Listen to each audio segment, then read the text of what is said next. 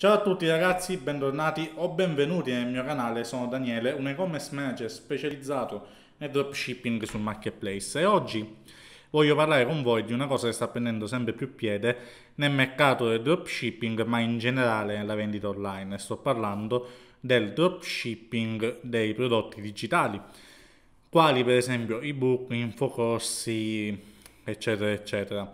Oggi voglio parlare con te di quattro criticità di questo tipo di business model e di cosa devi sapere prima di pensare di andare a fare dropshipping di prodotti digitali. Quindi resta con me e non ti perdere questo video.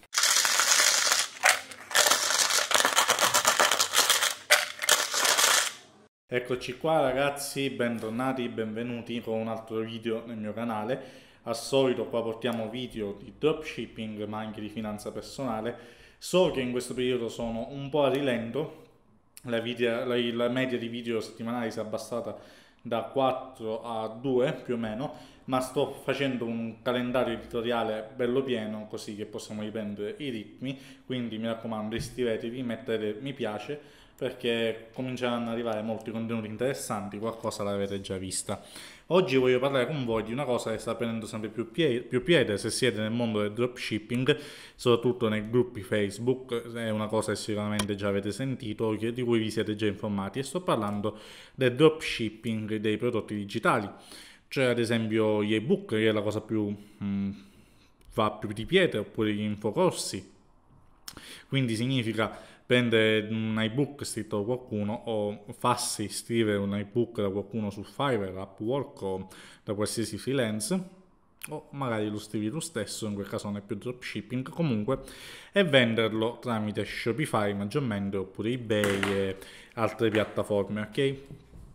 Ora, questo business model è altamente mh, marginabile, ovviamente, perché non c'è nessun costo di prodotto fisso, che inoltre che il prodotto digitale nella maggior parte dei casi mh, mm, ce l'hai fatto, quindi tutto il resto poi è guadagno, tranne che hai degli accordi a percentuale, del, delle affiliazioni, ok, ma comunque eh, non è questo il punto del, del video, non è questo il discorso che dobbiamo affrontare. Il discorso che dobbiamo affrontare si tratta, eh, tratta di quattro forti criticità di questo business model, business model che devi assolutamente conoscere prima che inizi a vendere qualsiasi cosa digitale su internet. Eh, non parlo eh, solo di informazione, potresti anche vendere, per esempio, ce ne sono molte persone che vendono giochi o codici Xbox, ok? Mm, programmi, qualsiasi prodotto digitale.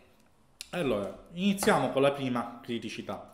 La prima criticità, ragazzi, è la costruzione dello stesso, perché un prodotto digitale deve essere costruito eh, e saltiamo subito al, alla parentesi di questa criticità che sarebbe il copiarli perché mh, mm, diciamo il 99,5% delle persone non costruisce questi prodotti digitali, non scrive un ebook, non scrive un programma, non scrive un gioco, ma mh, mm, li copia o, o, se li fa fare, ok? La maggior parte delle persone si li copia, addirittura vedo persone su Facebook nei gruppi eh, reclamare che prendono prodotti free, da copyright free o comunque eh, prodotti che trovano, trovano, in giro e, e li rivendono. Mm, ostentandosi di questa cosa. Ragazzi, dovete sapere c'è una cosa che si chiama copyright, ok? Quindi innanzitutto dovete essere sicuri che un prodotto copyright free e seconda cosa, anche se lo fosse, non è credibile. Cioè, qua non stiamo parlando di marginare semplicemente qualcosa, stiamo parlando di creare un business model e quando crei un business model è, mm, cioè è sottinteso che devi creare un brand, come crei un brand attorno a una cosa copiata o comunque trovata gratis online e la vendi tramite pubblicità, non farai mai nessun tipo di brand, non avrai mai nessun tipo di credibilità. Quindi questa è la prima criticità. E anche se tu mh, pensi di andartene lontano con le cose copiate, dice tanto nessuno mi denuncerà mai, non si tratta solo di denunce, copyright ti possono bloccare Shopify, ti possono bloccare il sito, ti possono bloccare il processore di pagamento e tutta una serie di azioni. Ok? Quindi questa è la prima criticità che devi avere, che devi fare. La seconda, che è strettamente correlata a questa, è legata, ragazzi, ai processori di pagamento. Cosa sono i processori di pagamento? I processori di pagamento sono quelle aziende che permettono ai clienti di pagare e passarvi denaro. Ad esempio PayPal, Stripe, Shopify Payments, uh, Checkout, eccetera, eccetera, ok? Questi sono tutti processori di pagamento. Perché è una criticità prodotti digitali? Perché i prodotti digitali, assieme ad altri tipi di prodotti, che la maggior parte delle volte sono i prodotti più immaginabili, sono considerati ad alto rischio. Perché sono considerati ad alto rischio? Perché? Perché non state vendendo nulla di fisico, quindi non avete, mm, no, no, non avete una, una, proprietà intellettuale nella maggior parte dei casi, per questo qua torniamo sempre al copyright, ehm, perché mh, mm, solitamente si tratta di vendere ad alti volumi, quindi alti volumi sono sempre ad alto rischio per i processori di pagamento e sono ad alta mh, percentuale di chargeback i prodotti digitali. Cosa significa? Significa che i prodotti il chargeback è quando io reclamo un processo di pagamento, una carta di credito a PayPal o qualsiasi cosa, che il prodotto non è conforme, che il prodotto è di bassa qualità o che non è mai arrivato, okay? perché i prodotti digitali sono più alto rischio di chargeback, perché non c'è nessuna prova, non c'è nessuna spedizione, i clienti non devono spedire nessun articolo indietro, quindi se ne approfittano perché aprono un chargeback e vengono automaticamente rimborsati. Questo comincia a diventare un problema se processi i pagamenti, ok? Ovviamente se processi 500 euro al mese non è un problema, ma se cominci a fare 100, 200, 300 mila euro al mese avrai grossi problemi. Eh, ma anche partendo da 20.000 euro al mese avrei molti problemi. Eh, cosa succede? Qua si aprono diversi scenari con i processori di pagamento, un argomento che nessuno tratta, Mm, in Italia, non mi sono mai chiesto il perché, anzi io mm, più o meno me lo sono chiesto, le mie ipotesi, il fatto è che nessuno in Italia, o la maggior parte delle o comunque la maggior parte delle persone sono su YouTube, ha a che fare con i processi di pagamento, perché i processi di pagamento per conoscerli implica che vendi determinate cifre, che vendi veramente e la maggior parte delle persone che sono su YouTube in Italia sono fuffa. Cioè, questa è la mia teoria, ok? Poi potete anche smentirmi, perché non, non, esiste nessun processore di pagamento che non vi faccia problemi appena arrivate a vendere determinate cifre. Qualsiasi tipo di prodotto vendiate, qualsiasi tipo di business voi abbiate, quando cominciate a vendere alcune cifre, mh, mm, solitamente si parte da 30.000 euro in, in su al mese, avete problemi col processo di pagamento. Cosa significa avere problemi col processo di pagamento? Che vuole conoscervi, che vi applica delle riserve di denaro, ne ho parlato in altri video di PayPal, ve li lascio in descrizione o andatevi a vedere nel canale, tra l'altro iscrivetevi. E se nessuno vi parla di queste cose è evidente allora che o non vogliono condividere informazioni, ma non c'è motivo, o non le sanno. Ok? Quindi questo è il processo di pagamento, la prima cosa che, a cui dovete pensare quando iniziate un business online, perché se non avete il modo di processare i pagamenti, non avete il modo di ricevere i soldi, non avete nessun business, o se vi bloccano i processori di pagamento o vi sospendono, eh, non potete più prendere i pagamenti dei vostri clienti, o ancora se il processore vi mette una riserva e dovete avere budget per fare le ads, per pubblicizzare o per comprare i prodotti, avete la riserva, dovete assicurarvi di avere abbastanza cash flow libero, abbastanza budget libero.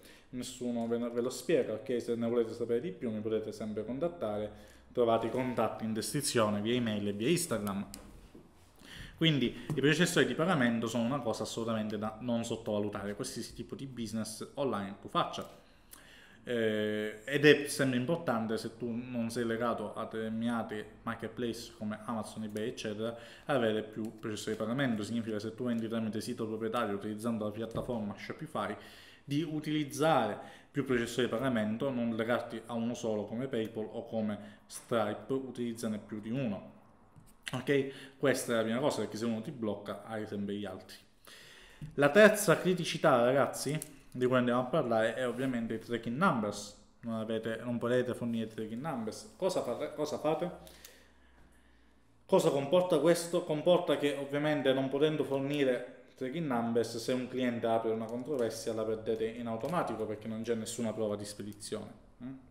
O comunque la cosa diventa più complessa. Poi, cos'altro implica? Implica il processo di pagamento, specialmente PayPal, sono programmati con gli algoritmi di guardare se i tracking numbers sono inseriti e di tracciare lo stato e l'avanzamento dei tracking numbers. Se voi processate tutti gli ordini senza tracking numbers vi andranno a bloccare, vi andranno a sospendere, vi andranno a mettere in revisione automaticamente e questo è un altro problema. Tracking numbers sono una cosa da sottovalutare, per questo è molto difficile vendere prodotti digitali online, per questo è molto difficile. Non sto dicendo che non si può fare, sto dicendo che è difficile comporta alcune criticità, sono queste, ok? Non confondiamo con il non si può fare con il porta criticità, sono due cose diverse. Quindi questa è una cosa, ragazzi, che dobbiamo tenere in considerazione. Mm, l'ultima criticità che mi ero segnato, appena, mi sono appena accorto, ne abbiamo appena parlato, sono i chargeback, me l'ero, me l'ero segnato, eh, ma ne abbiamo già parlato, quindi l'apertura dei chargeback è una criticità, una criticità, un problema da tenere in considerazione. Ora, come si dovrebbe fare dropshipping di prodotti o comunque vendita di prodotti digitali in maniera corretta? Mm, innanzitutto non usare PayPal. Cioè, ragazzi, davvero, non usatelo per i prodotti digitali, non andrete molto lontani, utilizzate altri processi di pagamento. Ci sono, uh, ora andiamo a capire un attimo, i processi di pagamento non sono tutti uguali, sono tutti mh, mm, dipendenti da, cioè tutti hanno le proprie regole, ok, più o meno simili.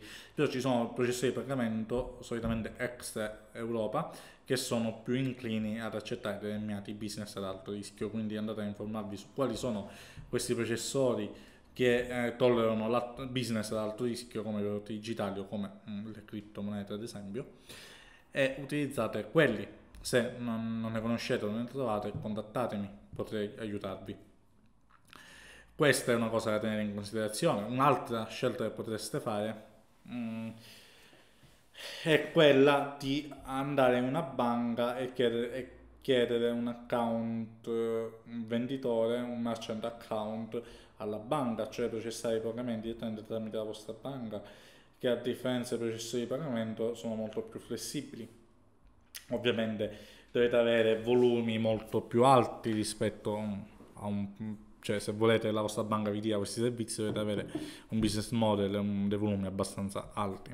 Questo è quanto riguarda il processo di pagamento. Per quanto riguarda il prodotto, non utilizzate prodotti sotto copyright, non copiate i prodotti, non copiate i prodotti e modificateli parzialmente perché magari andate lontano per un po', ma mh, mm, se trovate quello che mh, mm, vi vuole rovinare, vi rovina. Per esempio, io vi, fare, vi rovinerei mh, mm, se usate i miei prodotti.